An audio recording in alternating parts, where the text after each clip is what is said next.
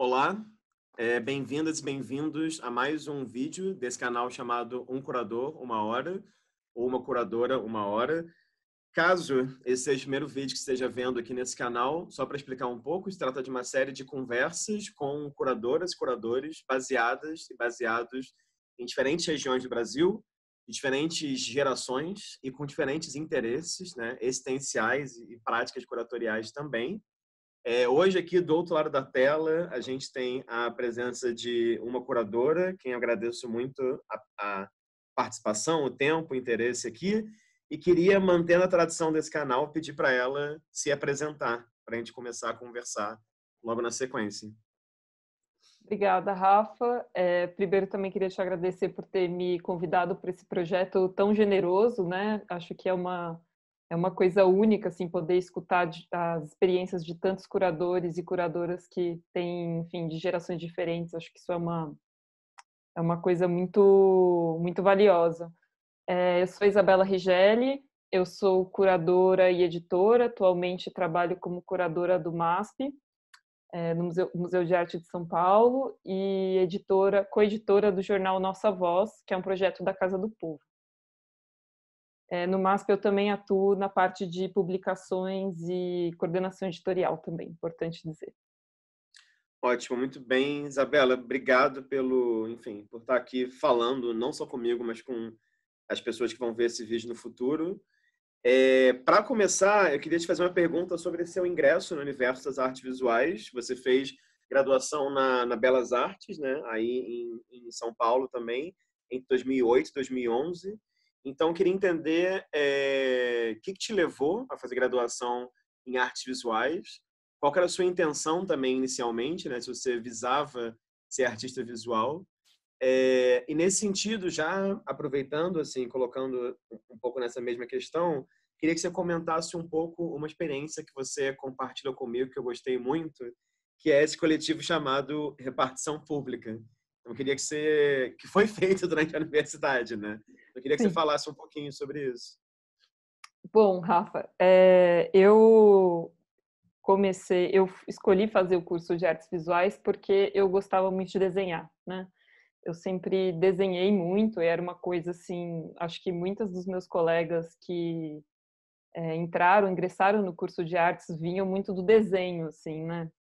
Então, eu sempre fui aquela pessoa que desenhava na escola, todos os cadernos, todo espaço livre que tinha numa folha de papel, tinha um rabisco.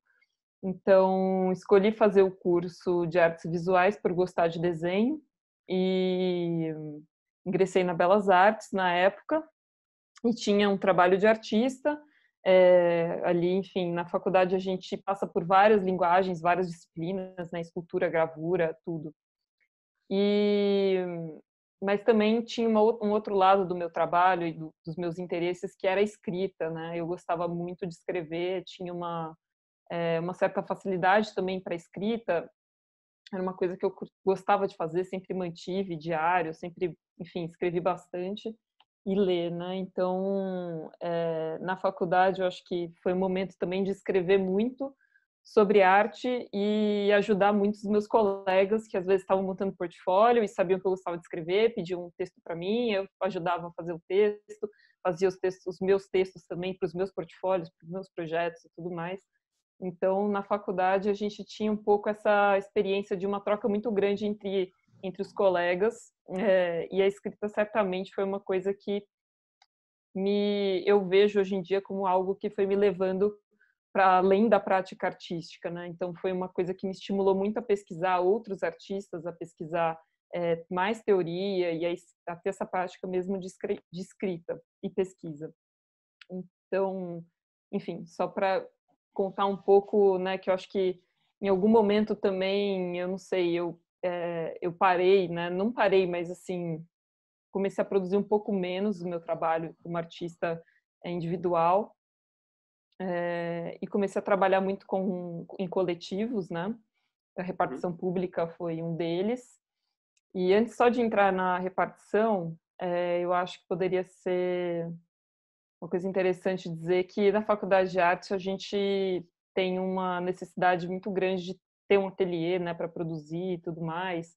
de estar tá lá para experimentar, enfim, com as diversas técnicas. Eu acho que na época que eu entrei na faculdade, é, por uma série de problemas familiares, questões financeiras, eu acabei também dividindo meu tempo de trabalho, né? Então, eu trabalhava, é, a faculdade era meio período, era matinal, a gente ia de manhã para aula e à tarde eu sempre trabalhei em outras coisas, né? Para ajudar um pouco também na, na minha família, né? Na época, acho que meu pai e minha mãe também tinham perdido emprego, então a gente estava passando por essas situações e, e acho que isso também me fez ter muito pouco tempo para trabalhar é, como artista. Eu acho que eu passava, ia para aula de manhã e à tarde eu ia trabalhar. Trabalhei, dei aula de desenho no centro de convivência, na SECO, que fica no Ibirapuera. É, dava, dava aula lá, trabalhei no Memorial da América Latina também na época, como estagiária. É, trabalhei no Ateliê 397, que eu até hoje colaboro, né? Acho que foi ali um, um dos espaços que fez muita uma parte, enfim, importante da minha formação. E à noite era o tempo que eu tinha para produzir o meu trabalho, né? Então, imagina, é, fazia todo esse trajeto, chegava à noite, na, ali no meu quarto mesmo, a gente fazia os trabalhos da faculdade, ou quando tinha ir para o ateliê, a gente frequentava o ateliê noturno, então era sempre eu, eu, eu, sentia muita inveja assim dos meus colegas que tinham tempo para usar o ateliê à tarde, assim, uma coisa que às vezes eu não conseguia fazer. É, e acho que isso aos poucos foi moldando a minha prática para coisas mais mais objetivas, mais textuais, mais conceituais. Os trabalhos eram muito projetos, né? Eu trabalhava muito fazendo projetos, às vezes apresentava os projetos para os professores. Acho que isso me ajudou também a pensar, conhecer um pouco do Google SketchUp. Aí na época era Google SketchUp, pensar fazer coisas 3D, é, o espaço, como montar, como instalar. Tudo isso era enfim, por não ter feito essa primeira parte, talvez eu pensei e entregava projetos e, me ajudou muito a entender todo o processo de você montar um, um trabalho. E aí eu fiz, a, fiz parte da, do coletivo Repartição Pública, na época, é, a gente, como alunos da Belas Artes, éramos muito unidos, assim, uma, uma turma que hoje, para mim, é como quase como uma espécie de família, né? Então, acho que se formaram comigo artistas é, muito que hoje são para mim são muito importantes, como Rafael Escobar, que era da minha turma, é, o Jaime Laureano, que era de uma turma anterior à minha, né, mais velha, mas que também a gente fazia muitas coisas, trabalhava muito junto, estava sempre junto nas coisas. Rafael RG, o Leonardo Araújo, é, que é curador também e editor da AGLAC. É, enfim, toda uma turma que o Pablo Vieira, da Massa Falida, com Silvio Camilis Borges também, enfim, toda uma turma que se formou junta, assim, e tinha o Beco da Arte, que foi um espaço autônomo criado pelos criado por esse grupo de pessoas ali, né, muito Léo Araújo, Ney Franklin, é, num, num, porão da casa de uma pessoa que cedeu para a gente um espaço que era um lugar que a gente podia experimentar, que a gente podia é, fazer as nossas exposições e convidar pessoas para falar, né? A gente convidou a Thaís Rivite na época, o Cauê Alves, que foi nosso professor também na Belas Artes, é, a Carla Zaccanini, vários outros artistas passaram por lá, assim, então foi um espaço muito grande de formação e de autogestão, né? A gente aprendeu muito a é, complementar a formação que a gente não tinha na faculdade é, de outra maneira, né? Então tinha um, um senso coletivo de auto-organização muito grande dessa turma e eu acho que isso foi um dos pilares assim da minha formação foram es, for, foram esses momentos, né? E na época é, a Belas Artes não tinha assim uma uma fama, né, de ter sei lá, o mercado de arte, é, a gente via sempre os artistas, eles sempre se formaram na USP ou na FAP, né? Uhum. Aí, enfim, tinha, tinha uma espécie de hegemonia, assim, USP FAP em São Paulo, sabe? E na Belas Artes a gente, é, eu lembro até de uma situação de ter ligado uma vez na, na Fundação Bienal e na época, enfim, era o boom dos educativos também, né? Acho que pouquinho antes desse boom, é, eu lembro de ligar e querendo, estava procurando trabalho, eu queria aprender e falar, não, eu estou querendo trabalhar aí e tal, tipo, vocês têm vaga, eu queria aprender, queria trabalhar como estagiária, posso, sei lá, atender telefone, qualquer coisa. E aí eles falaram, ah, não, que, é, a gente só trabalha com o pessoal da USP e da FAP. Foi assim, desligar. enfim, talvez fosse um convênio institucional, enfim, né? não sei. Mas na época eu fiquei assim, tão, eu fiquei tão chocada com, com isso, assim, né? E a gente tinha muito essa discussão de da Belas Artes, da gente tinha que se unir para fazer as coisas, para mostrar nosso trabalho, para abrir para abrir essa para abrir essas portas, assim. E e aí a repartição pública nasceu daí, né? Acho que chamava a gente era muito jovem na época, acho que é importante salientar isso. É, é, até, mundo... Só uma observação, tem até um termo numa entrevista sua que você fala, gostei muito. Você fala, você falou assim, a gente era perigosamente jovem. É, a gente, é, isso foi uma, um termo que surgiu na, num, enfim, no contexto, assim, como era bom ser perigosamente jovem, né? Aquela coisa que você, enfim, ninguém sabe quem você é, não tem problema, você faz o que você quiser, é uma liberdade, é um, enfim.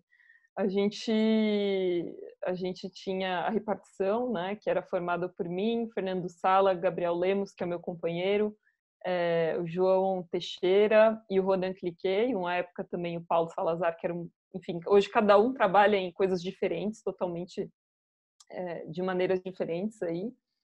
E o coletivo surgiu, eu entrei depois, o coletivo já existia, e uma das, enfim, todo o trabalho da repartição está ligada com a ideia de trabalho e institucionalização dos trabalhos de artistas e também como a gente se insere nesse meio, né?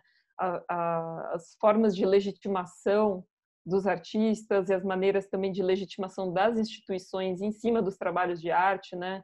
Um, dos trabalhos que a gente fazia, uma das performances era a licença poética, que era uma a gente se vestia assim de de trabalhadores de escritório e fazia essas performances que a gente invadia as aberturas, das quais a gente não era convidado, não estava participando da exposição.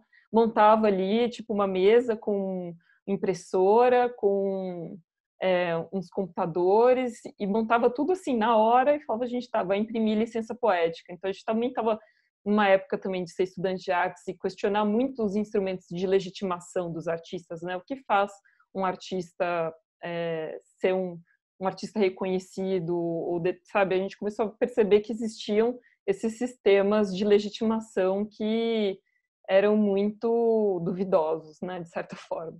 Então, a gente fazia esse trabalho na época, é, e desse trabalho veio também o Educativo Paralelo, que foi uma, um trabalho barra performance, que veio muito da experiência é, do Fernando Sala, que era um dos integrantes do coletivo, que tinha tido muita experiência em trabalhar em educativos de Bienal, né? Que foi bem esse momento é, do boom dos educativos pelas instituições, né? Então, enfim, toda uma discussão que eu é, não vou entrar aqui porque ela realmente é muito grande, mas acho que quem está tá acompanhando aí sabe, é, como também os educativos foram muito usados para para captação de recursos e tudo mais, e é um setor muito, muito ainda precarizado de diversas maneiras, né? Então, é, na época a gente questionava muito isso, assim, muitos dos nossos colegas, acho que a maioria da nossa turma da BA é, participou, trabalhou em educativos, né?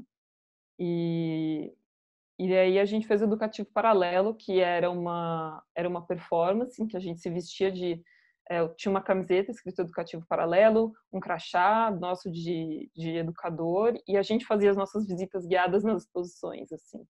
É, e não era, uma, não era uma coisa do tipo, hoje em dia isso existe, né, de maneiras, de várias maneiras distintas. Você vai, sei lá, no MASP eu chego para trabalhar e tem pessoas fazendo suas visitas ali dentro com, enfim, seu repertório e tal.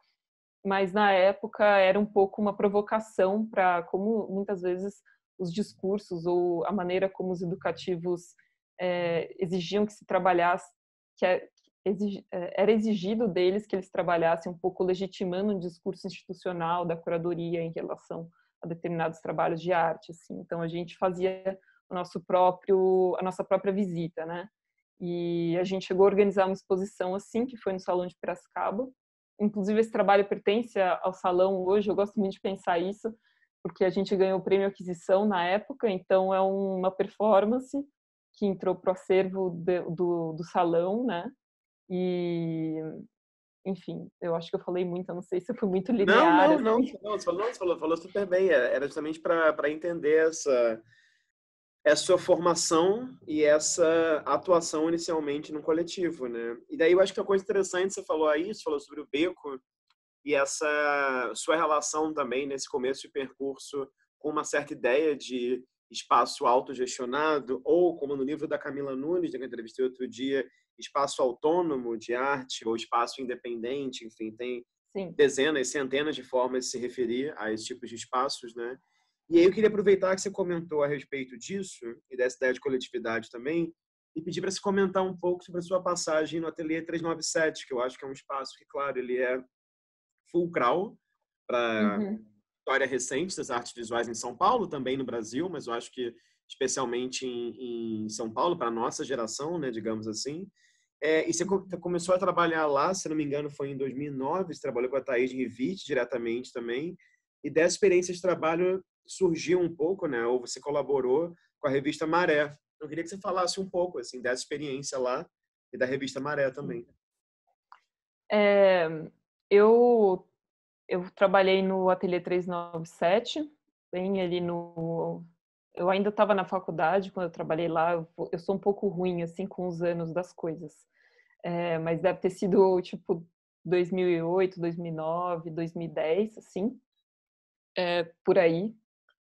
E foi um, é um dos espaços que onde eu aprendi muito. É, a Thaís Rivite eu fui assistente dela, né? Ela deu aula para gente na Belas Artes, na, lá na, enfim, deu aula de estética e filosofia da arte.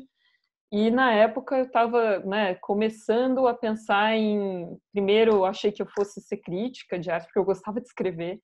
E aí eu falei, bom, é, queria, vamos, como que é esse trabalho, né? Conversei, conversando muito com a Thaís, ela é, me chamou para trabalhar com ela. E aí ela estava indo para o 397 na época, né? Eu estava saindo de lá o Rafa Campos e a Silvia Jabali, eles estavam, o ateliê passou por muitas mãos de muitas pessoas, né? Acho que isso que é, é muito legal e até hoje está se transformando e passando para várias pessoas. Eu acho isso, essa, a gente falava que tinha essa coisa de passar o bastão, né? Então, na época, Thaís estava entrando lá como gestora com, Marce, com Marcelinho, Marcelo Amorim, e, e aí eu fui junto, né, trabalhar lá também. E foi uma experiência muito, muito importante, porque o ateliê, o que é interessante trabalhar com espaços autônomos é que você tem a oportunidade de é, trabalhar em todas as frentes de um espaço de cultura. Então, a gente fazia desde o projeto para PROAC, lei de incentivo, até cuidar do bar, pintar a parede, instalar os trabalhos, falar com o artista, comprar passagem, limpar o banheiro depois das aberturas, depois das festas, a gente fazia tudo, né? Tinha, enfim, fotografava os eventos todos, então era sempre muito é, isso. Uma das coisas que eu gosto muito dessa experiência foi ter essa, essa oportunidade de trabalhar nas diversas frentes de um trabalho, de um projeto. Então, entender um pouco, entendi um pouco de tudo, entender um pouco de montagem, entender um pouco de como arrumar a parede, fazer uma, fazer um, tampar um buraco, é, instalar um trabalho. Eu acho que isso foi fundamental, assim, é, do meu trabalho e eu acho que é uma coisa muito importante para os curadores é ter essa ah, isso cria uma dimensão, né? Então, é saber olhar uma planilha, entender um orçamento, é, escrever o projeto, executar o projeto em todas as frentes.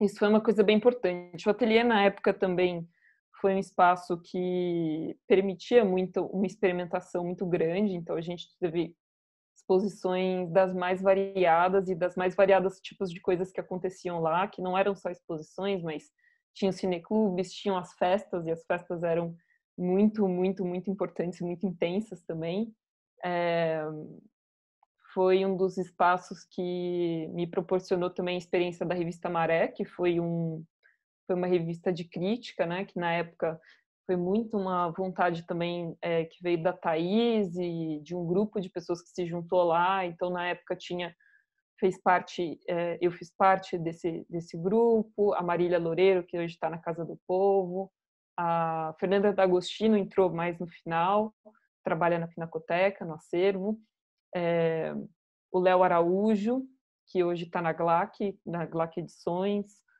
uh, a Paula, acho que a Paula Borg também fez, fez parte da Maré, e, enfim, é, devo estar tá esquecendo de muita gente, mas foi um, foi um grupo grande, o Daniel Rubin, é, enfim, muitas pessoas passaram por ali. E a gente tinha essa ideia de fazer uma revista de crítica, né?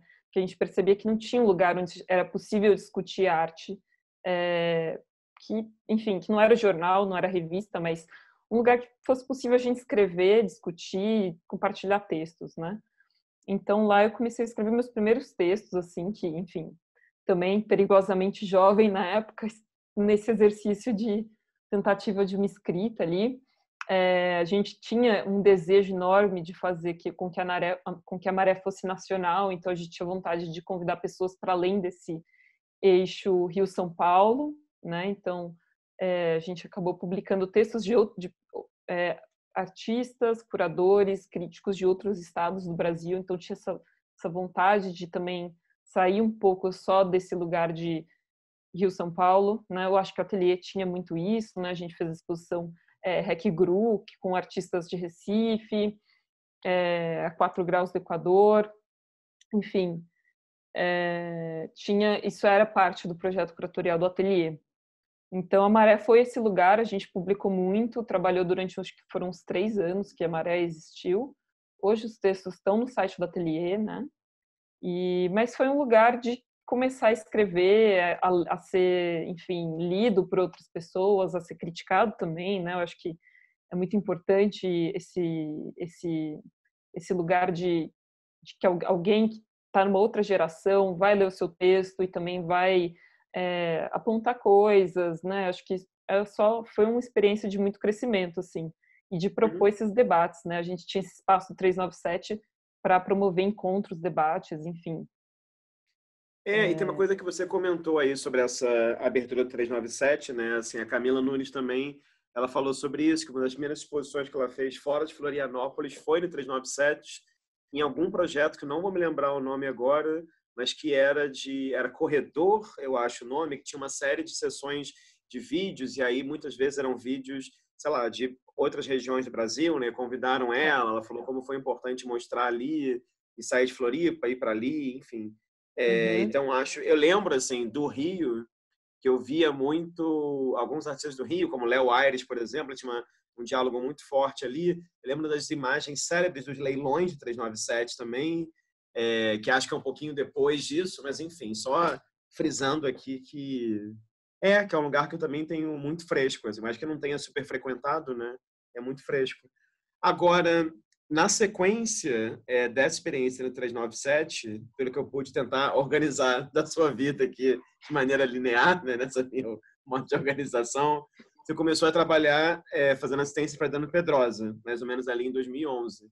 Uhum. Então, eu queria que você comentasse um pouco, assim, é, como que foi a experiência trabalhar com o Adriano, que, claro, nesse momento já era um, um curador muito reconhecido no Brasil internacionalmente, e é uma parceria que, de certa maneira, né, assim, contigo segue até hoje, é que você atualmente trabalha no MASP, né?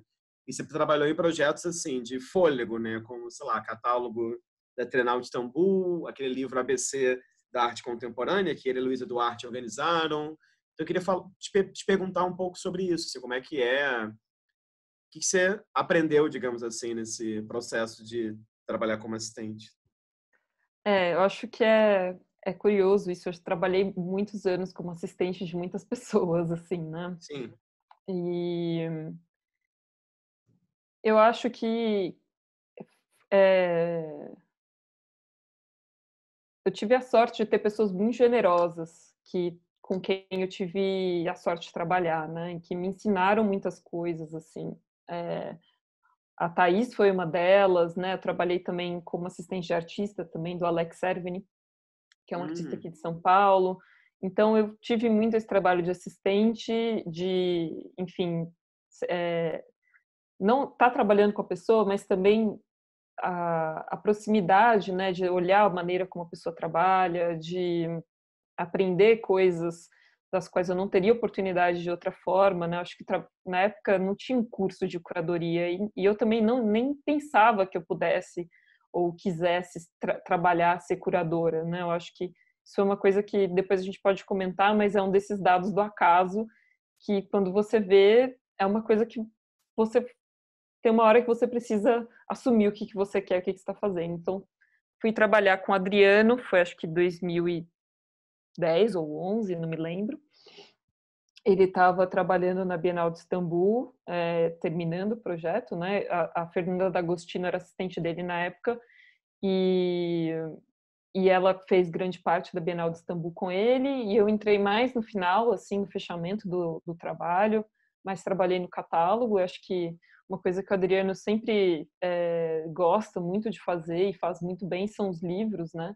Então, eu acho que com ele eu tive muita oportunidade de aprender a trabalhar num projeto, num livro, né? Ele sempre foi muito generoso de mostrar, falar assim, ó, oh, Isabela, então, um livro tem isso, isso e isso, sabe? É, de me mostrar mesmo, de ser realmente generoso mesmo, de, tipo, passar é, todo esse trabalho explicar como, como tem que ser feito, como as, os problemas que podem acontecer, é, me mostrou, enfim, me mostrou muitos outros artistas também com que ele estava trabalhando, pesquisando. Acho que o Adriano tem uma biblioteca incrível ali, e uma das coisas que era minha tarefa sempre foi também um pouco organizar os livros, catalogar, enfim, é, ver um pouco isso. Então, tive a oportunidade de ver muito livro na minha vida e, e tive tive esse trabalho, essa proximidade muito grande com o Adriano, que hoje é uma pessoa que eu confio bastante. E a gente tra continua trabalhando junto lá no MASP, né? Eu acho que, eu, claro que não mais na nossa chave, na chave de assistente, mas é, hoje é um trabalho completamente diferente, né? Acho que uhum. o trabalho do Adriano como curador autônomo, é, independente, autônomo, não sei como a gente pode classificar hoje em dia essas coisas. sempre acho independente um termo tão tão difícil, é. né? A gente sempre depende de alguém, de alguma coisa. Também, também acho. Não existe. É, mas, é, enfim, hoje trabalhando no museu já é muito diferente, assim. Só que o Adriano foi uma dessas pessoas com que eu aprendi muito em termos de, de trabalho curatorial, porque quando você é jovem e está começando a entender o que, que é fazer uma exposição, Curadoria é um, é um trabalho que exige um orçamento, que exige um dinheiro, que exige é, um espaço, né? Não, não é um trabalho que eu conseguia fazer com os meus meios e as minhas coisas que eu tinha ali na mão e tal. Era sempre uma coisa que exigia muito, é, muito espaço, um dinheiro, recursos e tal. Então, ver outras pessoas fazendo esse trabalho foi uma coisa que foi me interessando é, me deixando cada vez mais interessada em trabalhar como curadora, né? Porque na época, quando eu comecei a trabalhar com a Adriana, eu ainda tinha, eu ainda trabalhava com a repartição pública, por exemplo, eu ainda é, trabalhava como artista, eu tinha muita dificuldade em, em falar que eu queria ser curadora ou assumir isso. Acho que eu tinha um certa eu travava assim quando alguém falava ah mas o que que você faz o que que você é e eu falava que eu ah não eu escrevo sobre arte eu é, sou crítica, tipo, até engasgava assim para dizer isso, mas é, porque eu realmente tinha muita dificuldade mesmo em me ver como, enfim, curadora ou ocupando esse lugar, assim, eu estava num, enfim, é, é, complexo. A gente pode explorar mais não, esse mas, assunto, não, mas... mas... Mas, talvez, mas talvez também eu fico pensando, né, que talvez é... É, tá, enfim, é, a gente também não é, não é super íntimo, é complicado eu te psicologizar assim, mas talvez fosse difícil assumir, mas talvez também você não soubesse 100%, né? Porque eu fico pensando, quando a primeira vez que eu fiz uma curadoria, uma amiga minha, grande artista, convidou e aí eu fiz aquilo. E aí, em nenhum momento eu pensei assim, sou curadora. Eu pensei, não, eu fiz uma coisa lá. Aí, de repente, por vários acasos, uma coisa foi levando na outra. De repente, eu comecei a perceber que me olhavam como tal, mas em nenhum momento eu quis aquilo, né? E é interessante é. ver que todas as entrevistas que eu fiz até agora, mesmo com pessoas que têm, sei lá, três vezes mais, né, enfim, a experiência que, que a gente junto, até se quiser, isso é muito comum essa fala, né? Assim, acho que quase ninguém um belo dia acordou desejando ser, acabou se é. tornando, né? Então isso agora trazendo de volta aqui seguindo com, com as perguntas, então que projeto seu que você consideraria esse essa estreia, né, digamos assim, esse assumir-se enquanto curadora? Porque eu vi numa entrevista sua você falar da experiência de fazer um texto para uma exposição do Jaime Laureano na Leme. E eu não sei se você consideraria. Eu lembro até que na entrevista você fala assim: é, foi mais fazer um texto, mas a gente pensou de posição junto desde o começo. Então, eu fiquei me perguntando se você consideraria que essa experiência seria essa espécie de um debut mais formal, digamos assim, sabe? Enquanto fazer a exposição e o texto, ou você considera alguma outra, como, não sei, as exposições coletivas que você fez, como essa espécie de, entende, de assumir-se publicamente como tal? Eu acho que tem um, eu comecei talvez, né, a, a me assumir como como curadora é, depois de ter um, uma conversa com a Dora Longo Bahia, que é uma artista, e, enfim, participei um tempo do grupo de estudos dela, né? E na época eu estava assim muito, muito, muito extremamente inquieta com essa posição, porque eu já não estava mais produzindo trabalho, eu já não tinha mais trabalho de artista, eu já não estava mais desenhando, não estava mais fazendo nada disso, eu estava só trabalhando como assistente de outros curadores, ajudando eles a organizar exposições, é, tem, escrevendo bastante, escrevendo sobre os trabalhos dos meus colegas, enfim, acompanhando muito o circuito. Eu ficava me sentia numa espécie de limbo e eu não me identificava muito com a figura do curador. Eu achava que era um lugar ali de um poder assim de enfim que eu não eu gostava eu me identificava muito mais com o backstage com é, com o lado dos artistas teoricamente falando assim porque eu vinha desse lugar do que de estar às vezes nesse lugar do, da curadoria né eu nem sabia como enfim é, seria possível. E eu lembro, mas ao mesmo tempo eu estava me interessando cada vez mais em, tipo, organizar exposições. Poxa, vamos fazer uma exposição de fulano, ciclano, sabe? Imagina que legal esse trabalho, não sei o quê, e ajudava a pensar. Estava sempre no ateliê dos meus colegas também, ajudando um pouco a desenvolver o projeto, a formatar alguma coisa, a pensar isso no espaço. Então, fazendo um pouco esse trabalho, que eu acho que é um trabalho de curador, né? Eu lembro que a Dora chegou um dia e falou para mim uma coisa que me marcou muito, é, falou assim: assume esse lugar e faz diferente. Então, é, isso me marcou muito, assim, me deu muita, muita força, assim, de falar: não, eu vou falar que eu sou curadora, assim, e eu vou fazer diferente. Então, todo, lugar que eu acho que às vezes associado à imagem de curadores eu, e que dos quais às vezes eu não concordo ou não gostaria de trabalhar dessa maneira, eu vou trabalhar de outro jeito, né? E vou continuar trabalhando próximo aos artistas, que é o lugar onde eu me identifico muito e onde eu, enfim, é, encontro é, energia, assim, né? E, e, gosto de estar próximo. E eu lembro que na época o Jaime me, me chamou para fazer né, o texto da exposição dele na Leimer, acho que era a primeira exposição individual do Jaime na Leimer, ele tinha acabado de entrar para a galeria. E o Jaime é um artista e amigo meu de muitos anos, assim, e na época ele estava fazendo uma residência e ele pensando a exposição, eu vivia assim no ateliê do Jaime, a gente ficava lá o dia inteiro conversando sobre os trabalhos que ele estava pensando, ele me mostrava e a gente foi meio pesquisando junto. Então, o Jaime estava lendo um livro, eu estava lendo o mesmo livro. Aí ele estava vendo tal coisa, eu também estava vendo, sabe? Então a gente teve um, um, uma troca muito intensa assim de é, enfim, desde dele ler o meu texto, a gente discutir todo o texto juntos e ler os mesmos livros, as mesmas referências para tudo, é, até, sei lá, pegar e a gente imprimiu, é, a gente pensou a publicação juntos, né? Esse texto que eu escrevi para o Jaime é um livrinho, assim, que o Jaime pensou com uma madeira de lei, vinha então o texto, uma madeira de lei num elástico. Então a gente ficou um dia horas no ateliê do Jaime prendendo o, as madeiras de lei com elástico nos livrinhos para distribuir na exposição. Então a gente tinha muito essa, é, foi uma troca muito intensa e eu aprendi muito, né, com com com essa troca.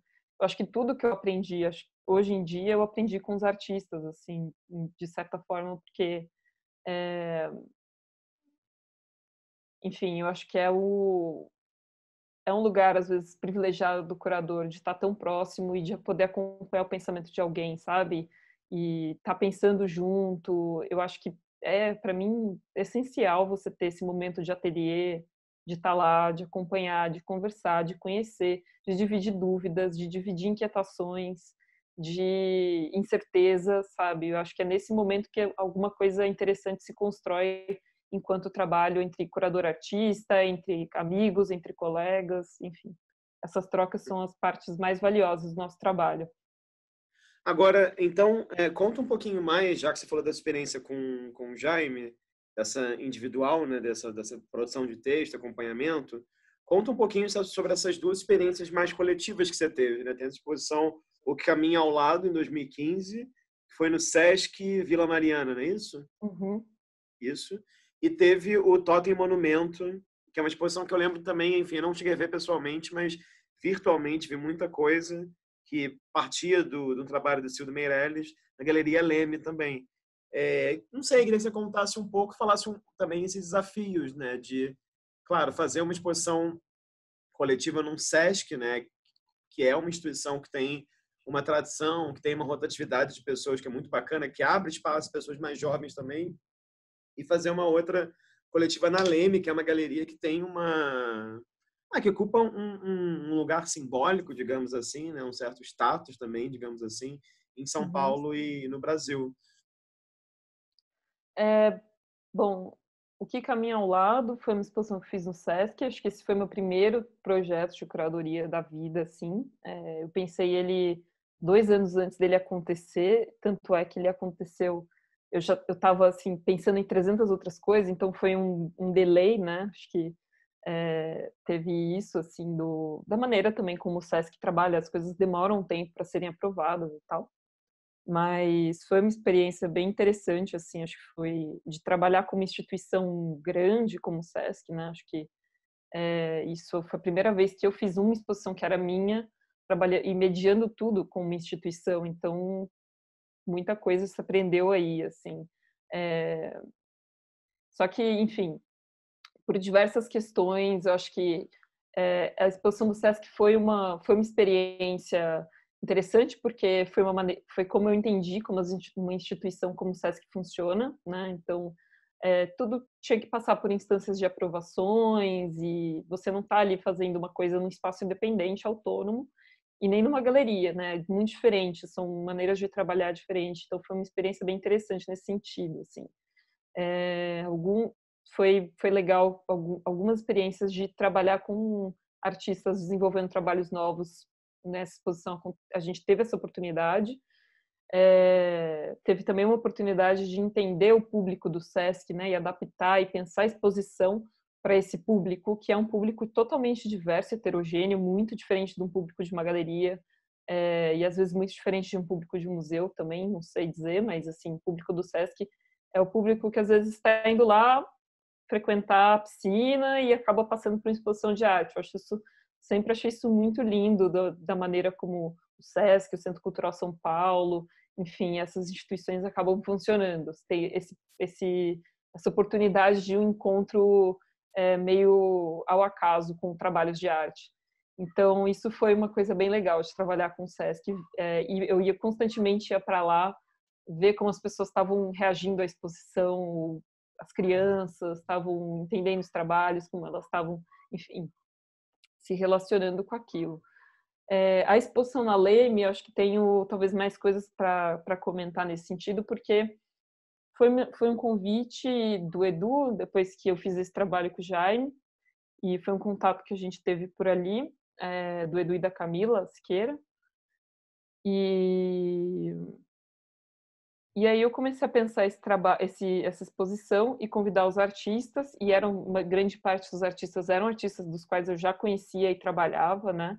O único que não era o Cildo, no caso, mas o Cildo foi foi uma questão de mandar um e-mail para ele, viajar, pegar um ônibus até o Rio e conversar. Um dia passei uma tarde conversando com o Cildo no ateliê dele, foi uma coisa assim completamente impressionante, porque né, o Cildo era artista que se aprende na faculdade, Cildo Meirelles e tal, e era uma pessoa, assim, extremamente generosa, me recebeu no ateliê dele, a gente ficou horas conversando sobre esse trabalho que é o Totem Monumento, que é um trabalho é, um pouco maldito da arte brasileira, né? um trabalho bem difícil, e que na época eu estava interessada nas contradições desse trabalho e no fato dele ser um trabalho, inclusive, difícil para o próprio Sildo, né?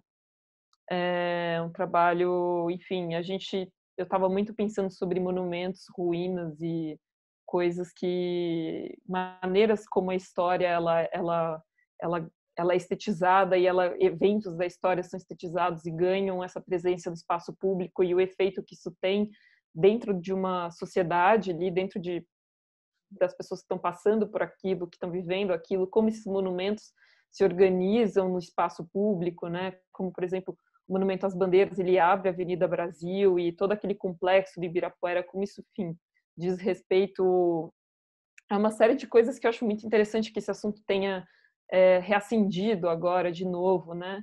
À luz dos protestos do Black Lives Matter e entre outros, assim, é uma coisa que é muito importante a gente falar sobre isso. É... E essa foi um, esse foi um projeto que eu convidei os artistas e propus da gente deles pensarem em trabalhos novos, né? Então, assim, eu chegava no ateliê, cheguei no ateliê do, do Escobar e falei, Esco, eu estou interessada nesse trabalho aqui, nessas questões. O que, que, você acha? Isso te, né, te mexe alguma coisa em você? Tipo, você tem vontade de, de... Eu sei que você tem um trabalho sobre isso. O que, que você acha da gente pensar uma coisa para exposição? e tal. Então, foi uma exposição construída dessa maneira, assim, sabe? Lógico que você faz uma exposição com 30, 40 artistas, é muito difícil trabalhar assim, né? Essa uhum. exposição que a gente fez de uma bem pequena, é, muito circunscrita na, dentro da galeria, e pensando constantemente trabalhos novos ali, que podiam estar em diálogo. Né? A Clara e Anne, a gente foi até Perus, eu e ela pegamos um ônibus, Perus não, desculpa, a gente foi até Jundiaí, é, aqui no interior de São Paulo, entrevistar dois médicos forenses, que ela estava muito interessada no, na, na, medicina forense e na memória das pessoas que desapareceram durante a ditadura militar. Né? Ela estava muito entrevistando na época alguns médicos forenses estavam trabalhando no cemitério de Perus, na vala comum de Perus. E, e a gente fomos nós duas lá entrevistar eles, assim, para Clara também estava pensando no trabalho, então, foi uma maneira de eu desenvolver uma pesquisa, um interesse que eu tinha sobre monumentos, sobre história, sobre essas representações todas, coletivamente com os artistas e cada um deles desenvolvendo isso de maneiras distintas. Então, isso foi uma quase que uma máquina de pesquisa é, conjunta, coletiva, sabe? Uhum. E... Agora, é, é, só, só, um parêntese, assim, que pela sua fala, então, me parece interessante que uma das coisas que te dá mais prazer enquanto curadora esse acompanhamento, esse ver o trabalho nascer até fazer parte de uma exposição, um seminário, uma intervenção, o que seja, né?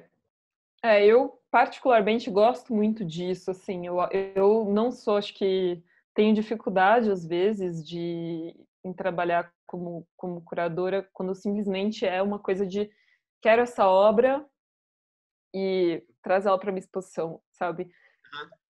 Mas não estou dizendo que isso é ruim, negativo ou errado, porque eu também, né, quando você faz uma exposição, por exemplo, histórias feministas, uma exposição enorme, nem sempre você consegue ter esse diálogo tão próximo com todo mundo. E às vezes o diálogo é muito com a obra, né, muito com o objeto. E isso também é muito interessante. Mas eu tenho, gosto bastante também quando existe essa possibilidade do diálogo ser com a artista, com o artista, com os conhecimentos de outras pessoas que podem, enfim, ter relações com os seus e se encontrar e se desencontrar e criar fricções. Enfim, acho que isso é muito é uma das partes do trabalho da curadora e do curador que, que são das mais estimulantes, na minha opinião. É, e aí traz de volta um pouco também para esse lugar de formação como artista visual, essa ideia de coletividade como repartição pública tinha, né? Agora, já que você resolveu falar aí, você usou essa frase boa, você falou, ah, não, deu para dialogar porque era uma exposição coletiva na Leme, com um número limitado de artistas, se fossem 30 e 40, o acompanhamento seria muito mais difícil. E você fez essa exposição em 2016, e 2016 foi o mesmo ano da Bienal de São Paulo, em certeza viva, que Johan Volz foi curador-chefe, e você, Catarina Duncan, trabalharam como curadoras assistentes. Então, eu queria que você falasse um pouquinho sobre as experiências de fazer a Bienal, que aí sim, você tinha dezenas de artistas e acompanhar deve ter sido uma loucura, né? E eu lembro que você trabalhou, se eu estiver errado, você me corrige, tá? Você trabalhou entre o acompanhamento dos artistas e a, a produção editorial, né? Dos dois livros que a Bienal fez, ou três até, que tinha aquele livrinho menor também, né? Yeah. Uhum. É, e queria, enfim, que você falasse experiência Bienal, e aí, pensando isso, isso das publicações, assim, você comentasse também um pouco, né, Isabela, esse seu, essa sua, esse seu percurso, né, em trabalhar com tantas publicações, porque na Bienal de São Paulo teve essa área, no Nossa Voz, né, que é a publicação na Casa do Povo, você trabalha como editora também, no MASP trabalha na parte editorial, e eu acho que, enfim, nem toda curadora se interessa por isso, ou melhor, nem toda curadora também tem a oportunidade de, porque muitas instituições não têm, né, assim, um, um um departamento de, de produção de livro, de publicações quaisquer, né? É, enfim, acho que seria legal você contar um pouquinho sobre isso também. Tá. É, bom, sobre a Bienal de São Paulo, eu e a Catarina, nós éramos assistentes curatoriais, né? Então, eu tinha uma equipe curatorial que é uma coisa também muito é, que ajuda numa exposição tão grande como foi a Bienal de São Paulo. Então era Johan, Júlia Rebouças, Sofia Lasquaga, Gabi Cobo, Lars Van Larsen, Cata e eu trabalhando como assistentes e eu fiquei, eu cuidei muito da parte de, de publicações, né? Então eu tenho, gosto muito, como eu falei desde o começo, eu sempre gostei muito de trabalhar com texto e, e eu acho que assim uma coisa que o Adriano me ensinou que ele que ele tem isso como uma coisa também muito para ele para o MASP também como é importante às vezes como é importante fazer livros né porque as exposições elas são desmontadas né? E o que fica são o que ficam são os livros das exposições muitas vezes né? Então é muito importante ter um projeto ou alguma enfim alguma maneira de publicar isso. Mas ao mesmo tempo fazer livro é muito caro né? É, enfim trabalhar com publicação ter a oportunidade de você publicar um livro é caríssimo, né? O preço de gráfica, enfim, tudo isso é muito, enfim, eu nem vou entrar nesse assunto agora porque é, a gente tem um tempo, mas é, na, na, Bienal eu fiquei trabalhando então nessa parte das publicações, tentando fazer a mediação entre entre os textos e os trabalhos, eu estava acompanhando de alguma maneira a execução dos trabalhos, então como os artistas estavam pensando os projetos. É, foi uma exposição que tinha muitos trabalhos comissionados, e isso é um desafio particular para quem faz livro, porque como é que você convida alguém para escrever sobre um trabalho que ainda nem existe? Sim, sim, e sobre um artista que eles nem conhecem, e sobre uma. Passamos é... por isso, Isabela. Passamos por isso. Você escreveu para esse catálogo também. Exatamente, é, passamos por isso. Então, é, é um desafio, assim, enfim, é um aprendizado também, né? É... Então, a gente, trabalhou dessa maneira. Acho que os curadores ali, cada um deles se dividiu entre os artistas, né? Eu acho que o que eu é, um dos artistas que eu mais acompanhei assim o trabalho, acho que também pela minha pela história da minha família, né? Minha família é, é uma parte é síria e uma parte libanesa, então acompanhei muito o trabalho do do Ryan Tabet, que é um artista libanês e que falava muito sobre esse lugar de como existe no Líbano uma, é, um, uma coisa que se diz muito como os, os libaneses que vieram para o Brasil um dia vão retornar para o Líbano e vão salvar o Líbano. Assim, tinha, tinha um pouco essa história que, se, que ele contava, uma coisa que as pessoas contam e brincando é, sobre essa, esse fato de que, muito, que o Brasil é o país que mais tem libaneses fora do Líbano e sobre como seria essa volta dessas pessoas para lá hoje, assim, né? Então eu acabei acompanhando muito proximamente assim o trabalho dele. É, acho que esse foi um dos trabalhos que que eu lembro que eu fiquei e ele também tinha um interesse é, com publicações. Né? O trabalho no fim é, foi a tradução do livro do livro Um Copo de Cólera do Radu Nassar para o árabe. Então eu fiz do português para o árabe, né? Que falava justamente desse retorno do o Radon Assar também é um escritor de ascendência libanesa, então falava justamente desse retorno é, de o Líbano, enfim, desse, dessa relação entre Brasil e Líbano.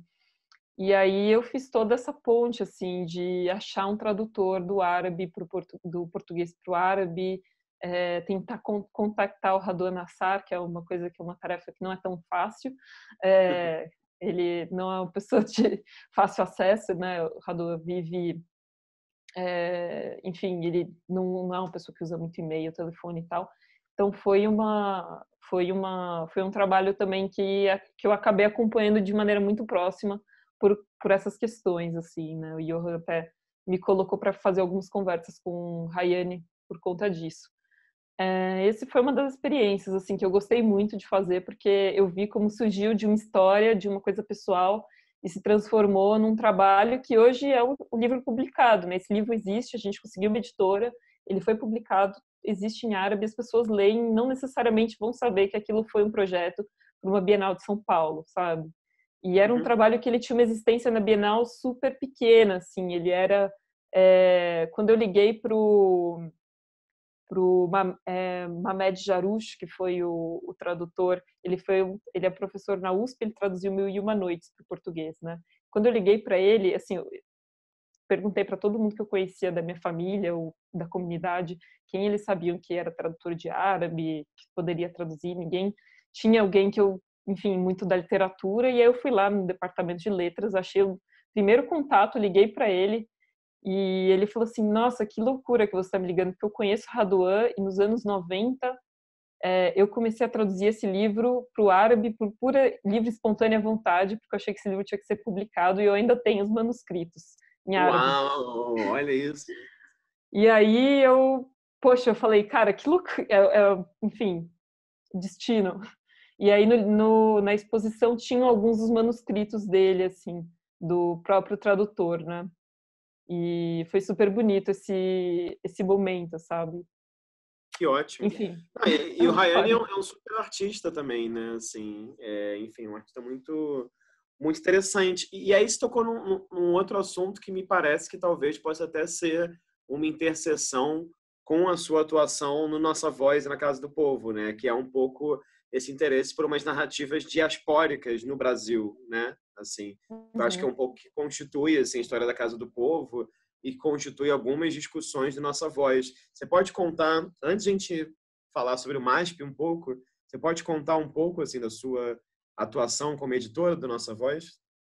O jornal Nossa Voz ele existiu próximo à Casa do Povo um pouco antes da ditadura militar é, no Brasil estourar, né? Ele foi é, fundado por pessoas próximas à casa, funcionou muito ali pelo bairro do Bom Retiro.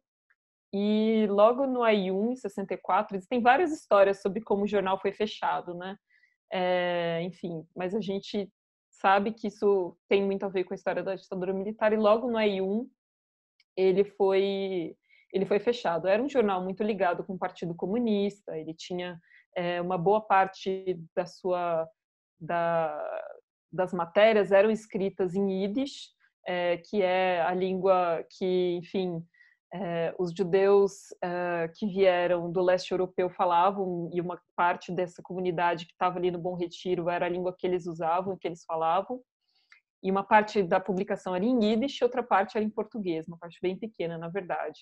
É, então, as matérias eram todas matérias muito à esquerda e falando sobre notícias do que estava acontecendo no mundo e tal.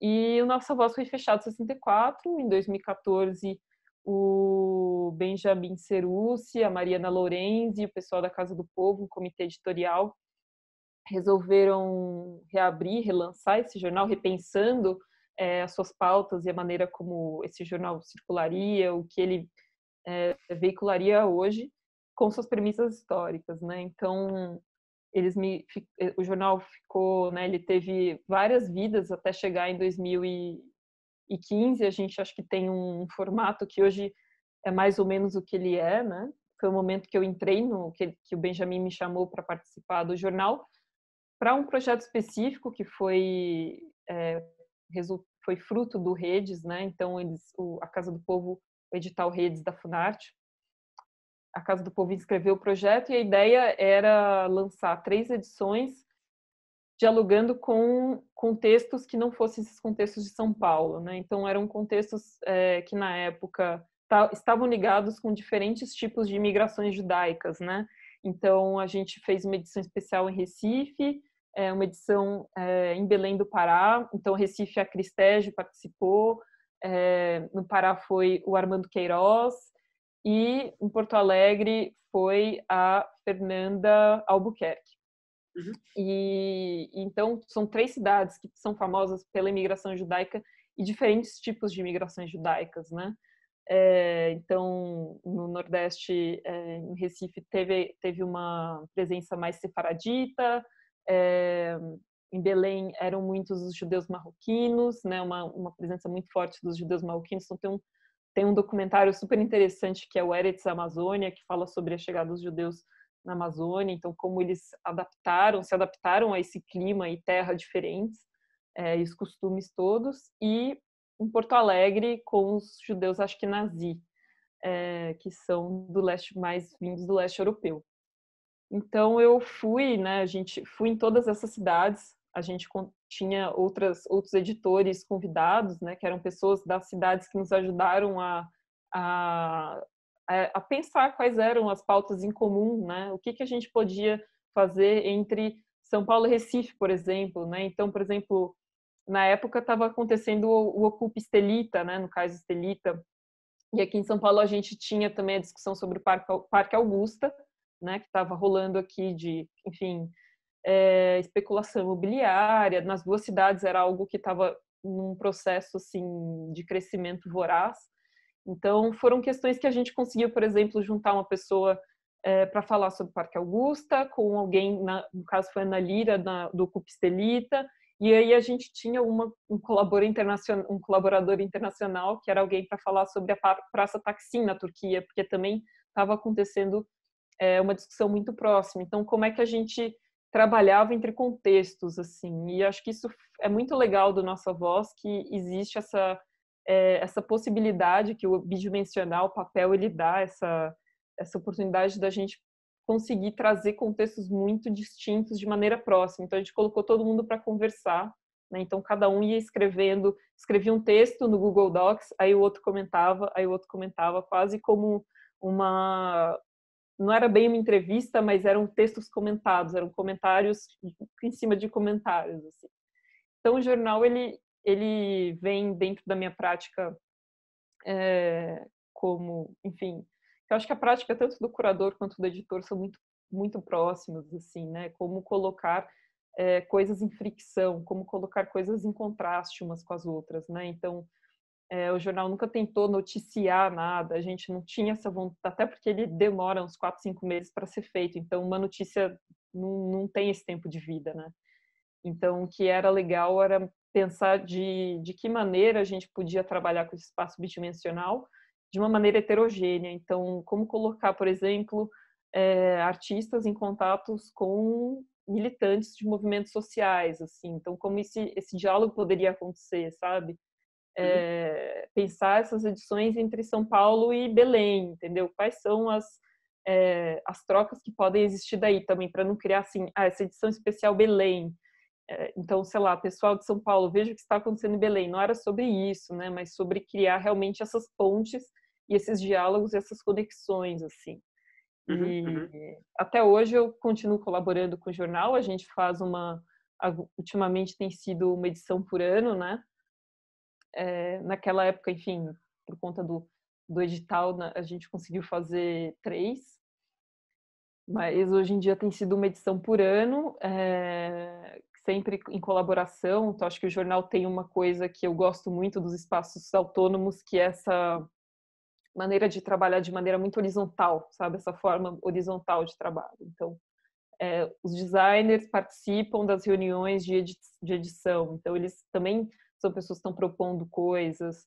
É, o comitê editorial é formado por muitas pessoas que trazem ideias diferentes, é, todo mundo trabalha em todas as frentes né, de, de produção do jornal, entendendo como um coletivo mesmo. E eu acho que isso é uma coisa muito rica assim desse processo. É, enfim. Desculpa, mas... fala, perdão, perdão, não. Pode falar você, desculpa.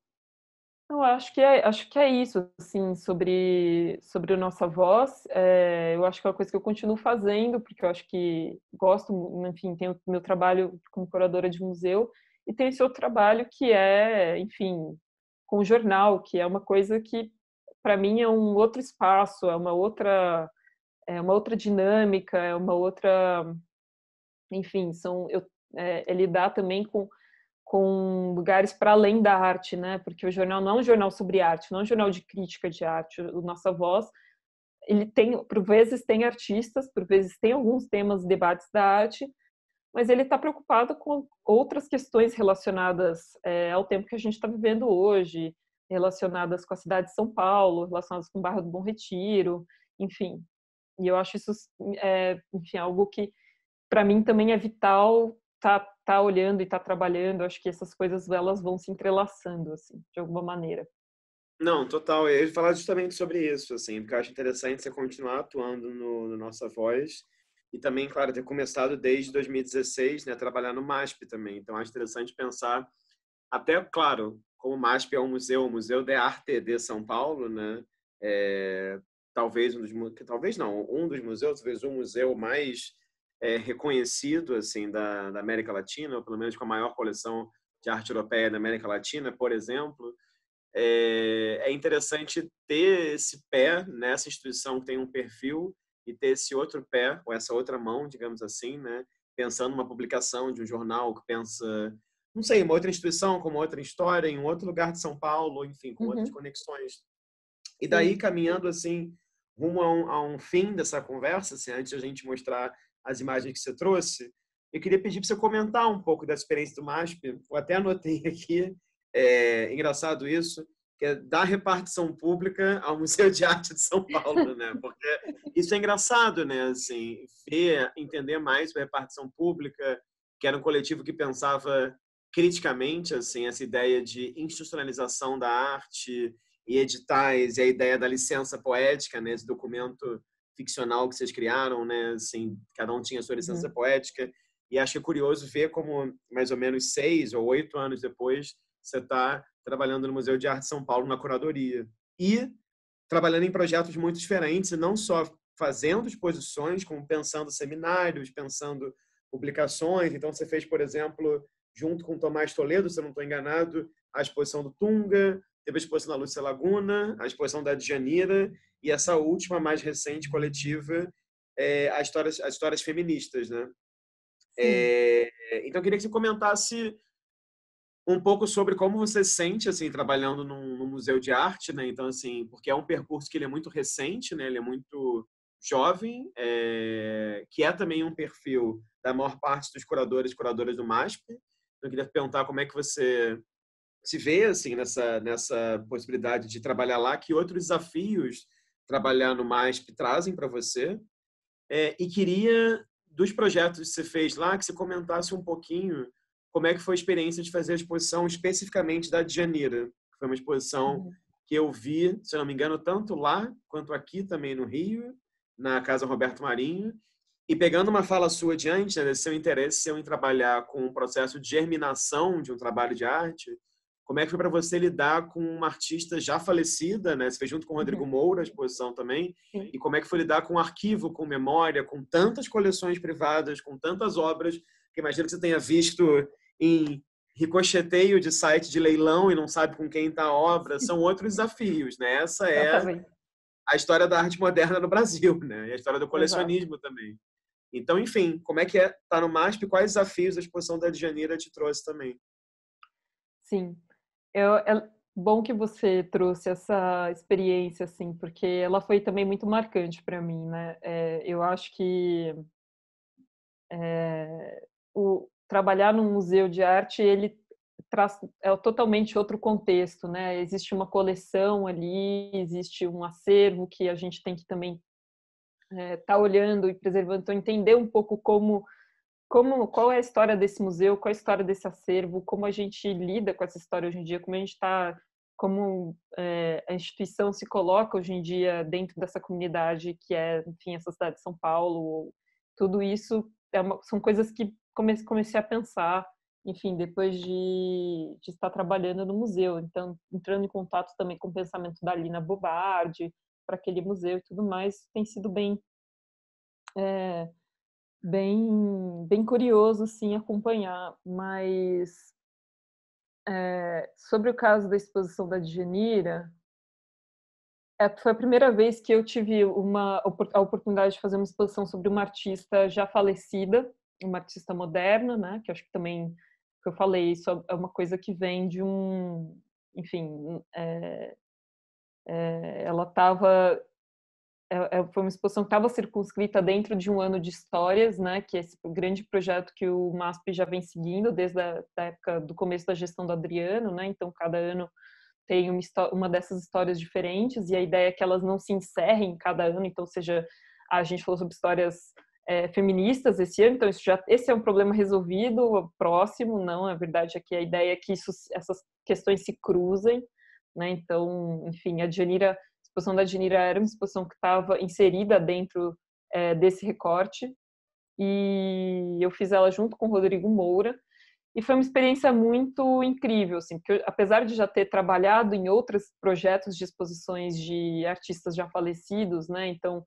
é, trabalhei rapidamente em alguns, em, na Pinacoteca, uma época como assistente é, curatorial, mas eu era meio assistente de pesquisa, PJ, para projetos específicos, ou, enfim, como assistente curatorial, a gente vai vendo como os, os nossos colegas curadores vão pesquisar, trabalham, pesquisam tudo isso. Então foi, foi a primeira vez que eu tive esse, esse, essa oportunidade de fazer essa exposição junto com o Rodrigo, né? É, e é isso, é, é, tentar, é quase um trabalho de Sherlock Holmes, assim, de uhum. entrar em sites de leilão, entender onde estão essas obras. A Djanira foi uma artista que foi muito falsificada, né? Então teve esse momento da vida da Djanira que ela mesma, em vida, denunciou falsificadores em leilões, né? Ela, é, ela teve um sucesso é, comercial grande, a Djanira. Ela vendeu muitas obras, ela vivia, conseguiu viver disso, assim, apesar da história da arte brasileira ter deixado ela um pouco de lado, deixado de pouco não, né? completamente, assim, excluiu um pouco ela dessas narrativas. Eu fui conhecer o trabalho da Djanira muito tempo depois de ter estudado História da Arte na faculdade. Eu nunca tinha ouvido falar do trabalho dela na faculdade, da minha formação. Então, foi uma... foi bem curioso, assim, porque você vê como... qual é a história da arte que se conta, né? Nessas, para as pessoas por aí, nas escolas e nas universidades, enfim e, e ver como uma artista que tinha um background, tinha uma, uma trajetória tão tão relevante e tão múltipla, assim, a Djanira, enfim, é, ela organizou exposição de artista brasileiro fora do país, sabe, nos países soviéticos, assim, a Djanira era super comunista, tinha esse lado dela também, mas... Djanira curadora é, também. e aí, e aí, assim, como é, como uma artista dessas, com uma trajetória como a dela, cai no esquecimento, sabe? Cai num, numa desvalorização, assim, né? E acho que isso me deixou muito incomodada, assim. Acho que, não sei, no meu, no meu texto que eu escrevi para o catálogo, acho que eu falo um pouco disso também, né? De como é, o fato dela indo atrás das críticas, né? Acho que também foi um trabalho muito grande de pesquisa em arquivo, uma coisa que eu amo fazer e eu fazia, fiz muito como trabalho de assistente de pesquisa para outras pessoas e para mim em alguns textos que eu tinha que escrever, mas para digerir esse trabalho foi vital porque era encontrando material de notícia de jornal que você encontrava o nome de alguém ali, aí você ia atrás dessa pessoa e falava com ela, oi, então no ano tal você tinha um trabalho da Digenira, você sabe para quem você vendeu, você sabe para onde está. Foi meio assim um trabalho de, de formiga, assim, de tentar achar essas obras e localizar.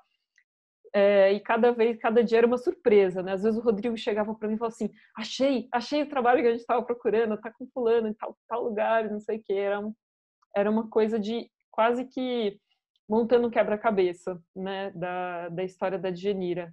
E acho que esse momento, acho que um, um, o momento mais assim emocionante da pesquisa foi quando o Rodrigo conseguiu encontrar o arquivo da Djanira na Funarte do Rio. Ele teve acesso materiais e documentos que a própria Djanira guardou sobre a história dela, assim. Então, depois que ela e a gente chegou a essa, enfim, a essa notícia por conta de um recorte de jornal hum, falando do falecimento da Djanira, que dizia que o Motinha, que era o marido dela, ia doar o documento, cartas, tudo dela para a Funarte no Rio e uma boa parte das suas obras para o Museu Nacional de Belas Artes, que é, que é a maior coleção de Djanira tá lá, né? Que eram as obras que estavam no ateliê dela. Então, a partir daí, a gente foi atrás da Funarte, conseguiu encontrar isso, todas essas cartas e recortes, e os recortes com anotações da própria Djanira sobre a localização, título de algumas obras. Então, foi um, um trabalho de pesquisa muito intenso, assim, e de e realmente de retraçar a trajetória de uma artista. Às vezes eu sonhava com a Djanira, assim, ela sonhava com a risada da Djanira, sabe? Eu consegui, pensava como que ela devia rir, assim, sabe? É, então foi um trabalho muito é, muito bonito de ser feito, assim, de como você conhece uma artista é, de maneira tão íntima, sem nunca conhecer ela, só com todos esses materiais que você levanta sobre a, sobre a vida dela. Assim, né? Não, isso é ótimo. E ao mesmo tempo eu tenho a impressão que a nossa geração, digamos assim, muitas vezes não se interessa tanto pelos artistas modernos, né? E pelas artistas uhum. também, né? Acho que a gente fica muito na relação próxima com a arte contemporânea, né? E essa produção, por exemplo, muitas vezes fica mais lateral, até porque é exatamente isso que você falou, dá muitas vezes um trabalho absurdo, né? Assim, de viagem, é. de pesquisa, de contato, de convencimento, de pelo amor de Deus, né? Assim, de, de tudo, é. de tudo um pouco. Agora, ao mesmo tempo que você fez a exposição, você estava imaginando a pré-produção de uma outra exposição, que acho que foi a exposição talvez a maior que você fez do MASP até agora, que é Histórias Feministas, né? Então, queria que você comentasse um pouquinho a respeito, porque é muito doido pensar, né? Que você estava no arquivo com a Djanida e, ao mesmo tempo, contactando os quatro né, cantos do mundo, pensando quais artistas que pensam é, questões relativas ao feminismo poderiam estar na sua exposição, que era uma exposição de obras após os anos 2000, né? E, muita, e algumas obras comissionadas também. É, então, queria que você falasse assim, um pouco de como é que foi a experiência, é, também nesse momento da história em que, felizmente, muitas discussões, não só sobre feminismo, a presença de mulheres artistas em coleções públicas, privadas, em galerias, enfim, vem cada vez mais à tona. Né? E, claro, uma discussão que também se abre de maneira muito múltipla, né? sobre mulheres cis, sobre mulheres trans, sobre artistas brancas, negras, indígenas, enfim, diferentes lugares de fala. Né? Então, como foi, assim, e como também pensar o feminismo contemporâneo, digamos assim, nas artes visuais, numa instituição que é um museu, né? Que também traz outros desafios aí. Sim. Eu acho que isso vai até levar a gente depois para a imagem que eu escolhi. É, acho que tem um pouco a ver. É, mas depois eu comento sobre ela e resgato um pouco histórias feministas. Bom, essa foi uma exposição que eu acabei curando sozinha. Eu gosto muito de curar exposições com outras pessoas, mas essa foi a exposição que eu fiz sozinha. E foi bem, foi bem interessante, assim, trabalhar, ao mesmo tempo que eu estava trabalhando na Digenira, mas eu acho que, de alguma maneira, algumas questões que surgiram na Digenira também me ajudaram a entender algumas questões que surgiram, por exemplo, em histórias feministas, né? Principalmente no que tange a própria história da arte, como ela é contada. Isso era algo que também aparecia em Histórias das Mulheres, Artistas até 1900, que foi uma curadoria da Mariana Leme, é, da Lilia Schwartz e da Julia Bryan Wilson, que aconteceu em paralelo com Histórias Feministas. Então, é uma, uma, eram exposições separadas, mas que de alguma maneira elas tinham um diálogo, né? Elas tinham, enfim, um diálogo que, que existiu pelo menos entre as curadoras. Esse diálogo ele era muito muito presente, né? A gente constantemente olhava o projeto umas, umas das outras, assim, e, e, e comentava e compartilhava, enfim, referências entre outras coisas.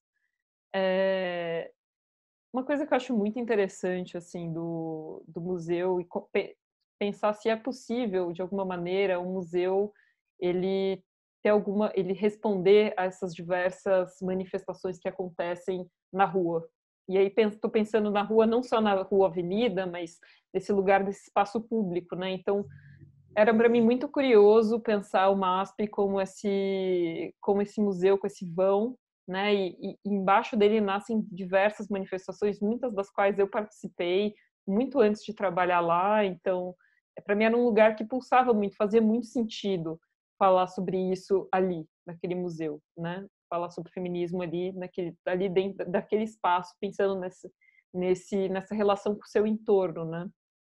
E então, enfim, é, histórias feministas foi pensado um pouco a partir disso, assim, dentro do que eu imagino a relação que o museu pode ter com coisas para além do para além da arte, para além da história da arte. Eu acho que tem outra coisa que eu acho que é importante é, para mim, assim, é como é possível falar sobre muitas coisas, é, sobre muitas questões políticas pela arte.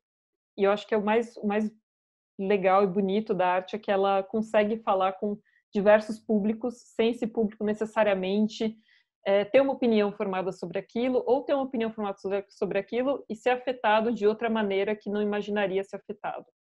Então, é, por exemplo, falar sobre, sobre feminismo ali, ficar vendo, eu constantemente descia, né? Uma coisa que eu faço muito nas posições é descer e, e tentar ver o, como o público está reagindo, como as pessoas, as pessoas estão assistindo os vídeos, o que, que elas estão pensando, o que, que elas comentam, né?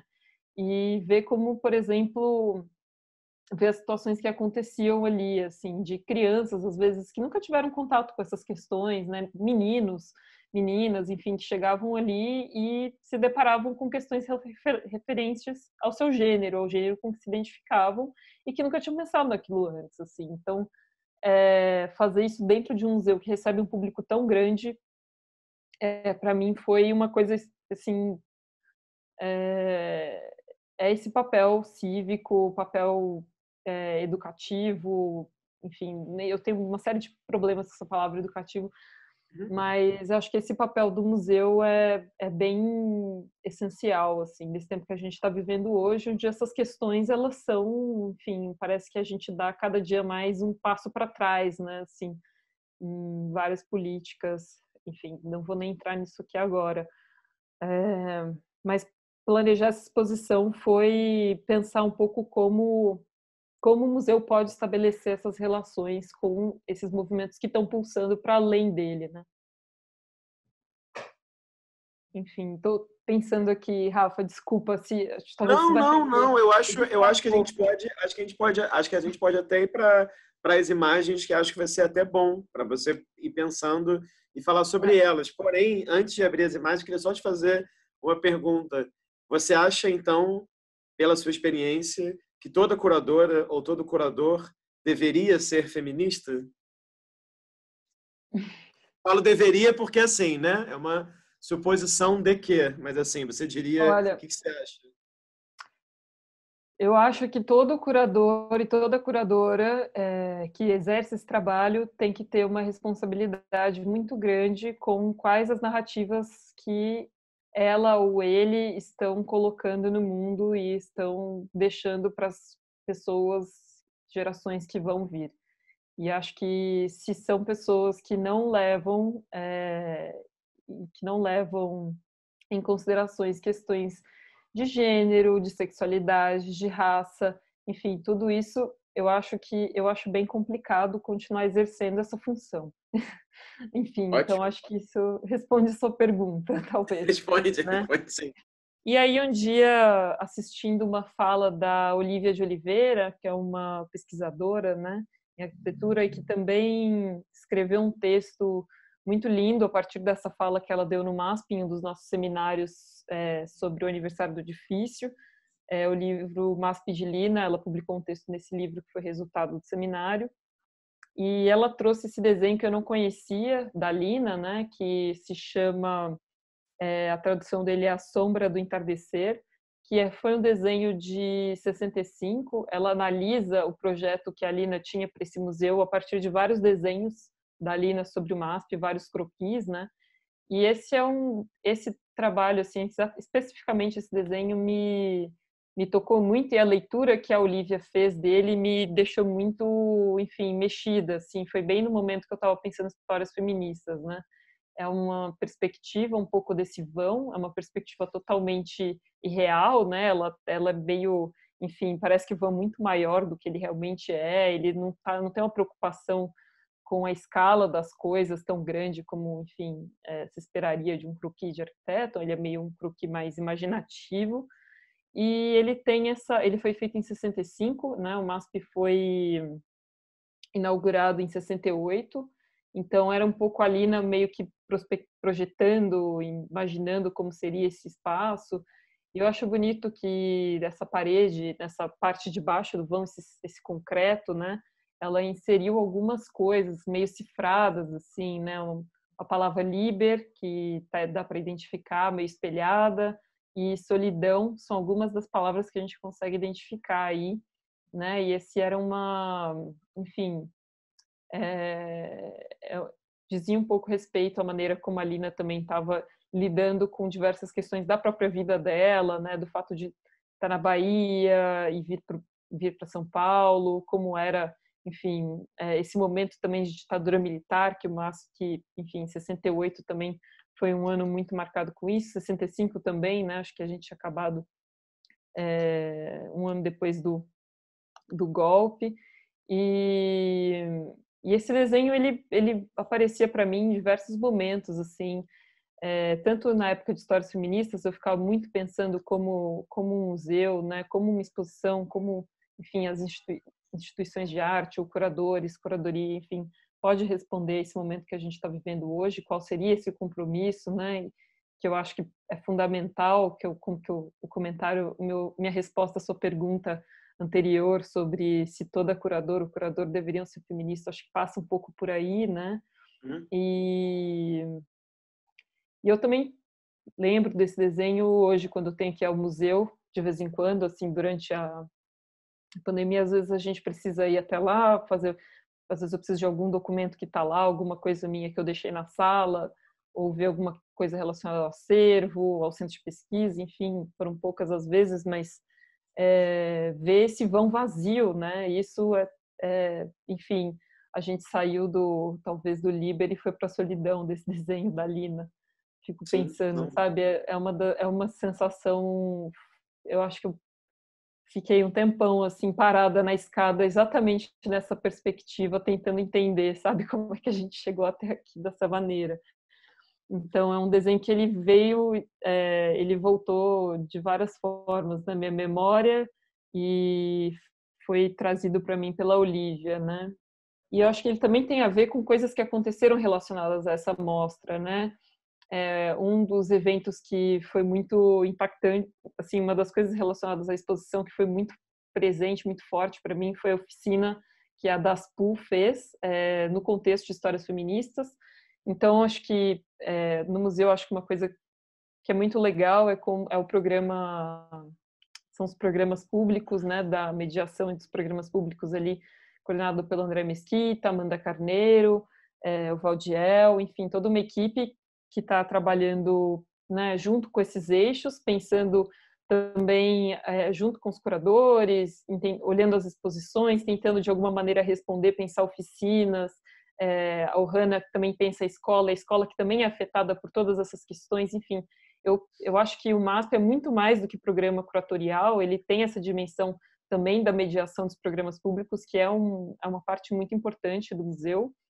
E, na época, a DASPU, é, que é esse coletivo é, de prostitutas, né, que, enfim, tá, foi fundado pela Gabriela Leite, pela Lourdes Barreto, é, não sei se vou entrar muito na história das PUC, para a gente também não tomar muito tempo, mas é, acho que tudo isso está na internet, o pessoal pode pesquisar. A DASPU participou da minha exposição com vestido de noiva, um trabalho que elas fizeram é, no contexto da 27ª Bienal de São Paulo e retornou ao MASP.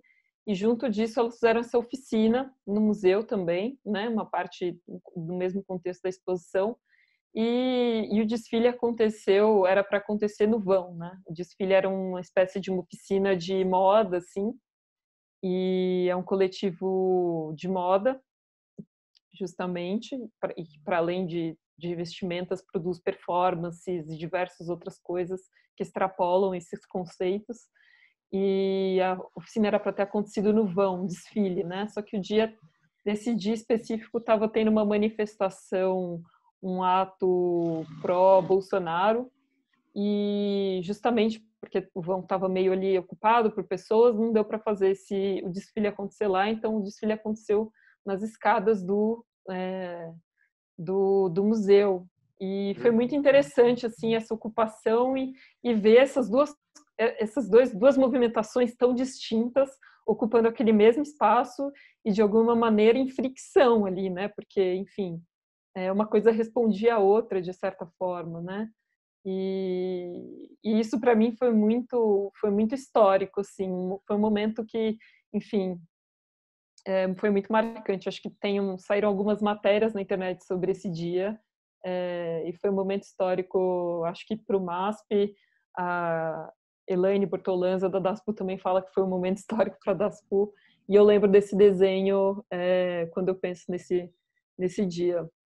Bom, essa imagem é o registro de uma performance chamada é, Mulheres em Mim. É, foi uma performance da Carolina Caicedo com as mulheres integrantes do MAB, que é o Movimento de Atingidos por Barragens, a Carolina participou da exposição, convidei ela para participar da exposição Histórias Feministas, com esse trabalho que foi a performance, mas que também é esse esse tecido que está esticado no chão, né? Que é uma é um trabalho que a Carolina vem desenvolvendo, que ela vai coletando roupas, peças de roupas de mulheres, amigas, é, artistas latino-americanas e latinex, e, e nesse e ela borda e costura todos esses todas essas roupas num grande estandarte que pode ser vestido, né, uma espécie de um, é, enfim, ele vira uma, um grande é, um grande painel e as pessoas podem colocar a mão e vestir e vestir isso coletivamente.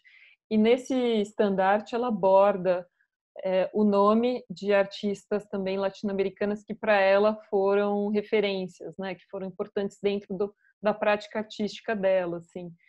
E, e, e ela, enfim, eu gosto muito desse trabalho e ela, para a exposição, a gente é, conversou também com o MAB, que é esse movimento que é movimento social, e com o qual a Carolina já colabora há alguns anos. Né? A Carolina tem um trabalho muito forte também como ativista, é, principalmente em relação a questões relacionadas à água e à energia. Enfim, no Brasil isso, tá, as coisas estão muito é, estão muito ligadas, né, com essa coisa das barragens e a construção e, e o quanto isso afeta a vida de diversas comunidades ribeirinhas, né? Então, a Carolina tem um diálogo muito forte com o MAB, na Colômbia com Rios Vivos.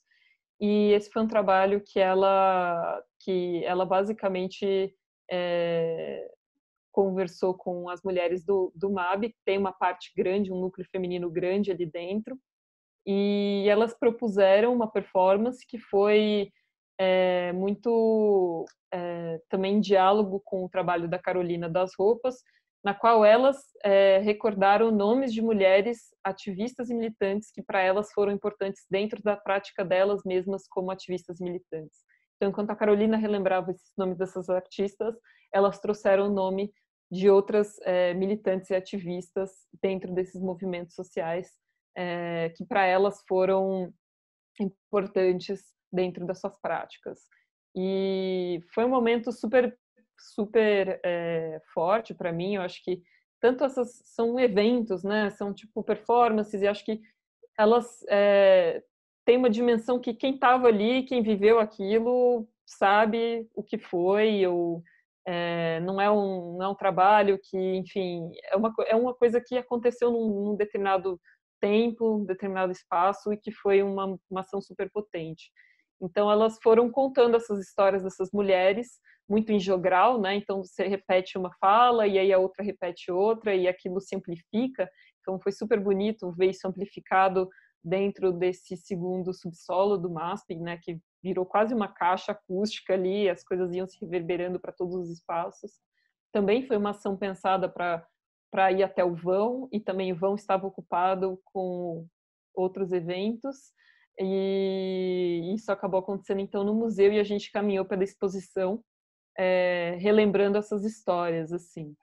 E, e, a, e, a, performance também implicava em vestir essa roupa, né? Então criar uma espécie de um corpo coletivo. Então o que que era é, caminhar na velocidade de todas ali, né? Então tá usando uma uma mesma peça de roupa, você tem que é, é um corpo coletivo. Então foi uma experiência super forte e, enfim, para mim também se relaciona muito com é, com aquele desenho da Lina, com a maneira como eu entendo, vejo e penso que esses espaços podem ser ocupados, usados e, e utilizados assim, né? Acho que esses diálogos, o diálogo entre entre arte e ativismo me interessam, entre é, enfim, para sair um pouco também né, desse, desse olhar de uma história da arte muito ensimesmada, mas realmente pensar a arte como parte, parte de uma sociedade, de um contexto que a formou, que a desenhou, e como essas duas coisas podem,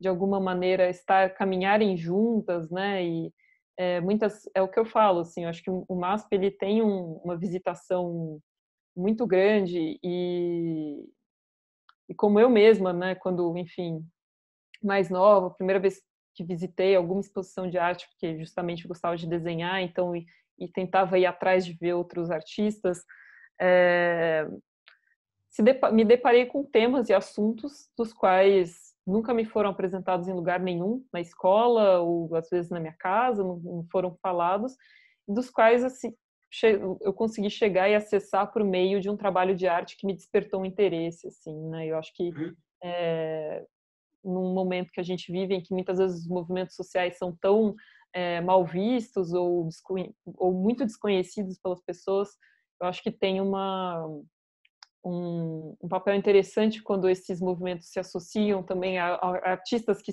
que também se disponham a enfim, trabalhar em sua complexidade, não necessariamente representar eles, mas trabalhar trabalhar com, né, trabalhar em, em, parceria dentro de um museu, dentro de uma exposição, dentro de um, enfim, de uma instituição de arte, isso se amplifica e, e enfim, é, complexifica os debates, né?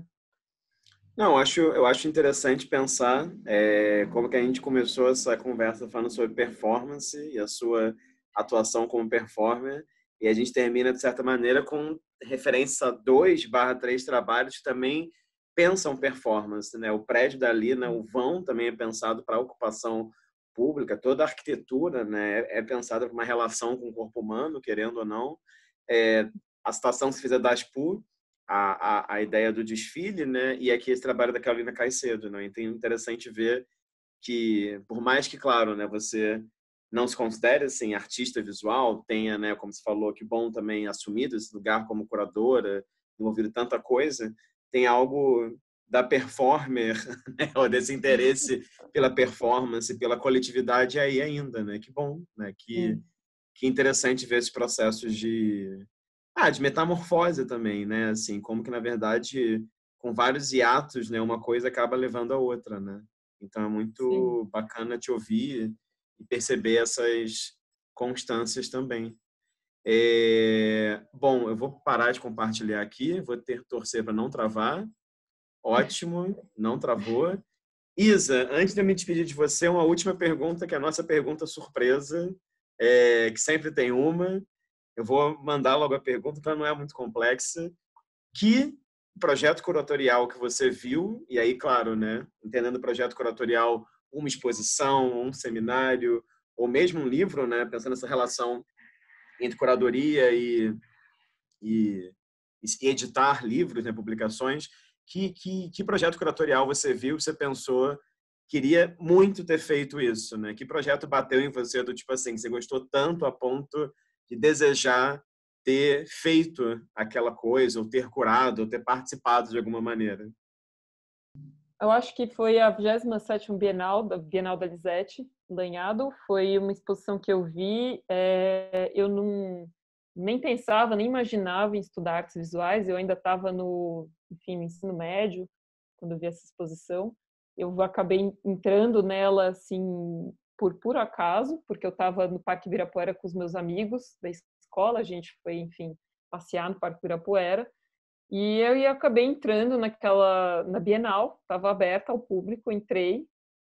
E eu lembro de assim ficar lá dentro horas, assim, foi acho um dos meus primeiros contatos com arte contemporânea, sabe? De entender que é, né, porque na escola a arte, a gente entendia que a arte ia até a semana de 22 e pronto, assim, Tarsila da Amaral era a coisa mais mais assim revolucionária que existia e, e, e para mim, enfim, né, estudei na escola era até a semana de 22 e entrar na Bienal de Arte e ter aquele primeiro contato com a arte contemporânea foi uma coisa quase arrebatadora para mim, sabe? E eu lembro de, enfim, ter aquela cybershots, aquela câmera Sony Cybershot uma galera tinha, né? E de registrar aquilo de uma maneira assim, nossa, eu preciso, eu preciso voltar aqui ver isso de novo, sabe? É, me lembro do trabalho da Ana Mendieta, tinha uma espécie de uma sala de trabalhos da Ana Mendieta. Eu nem sabia quem era Ana Mendieta na época.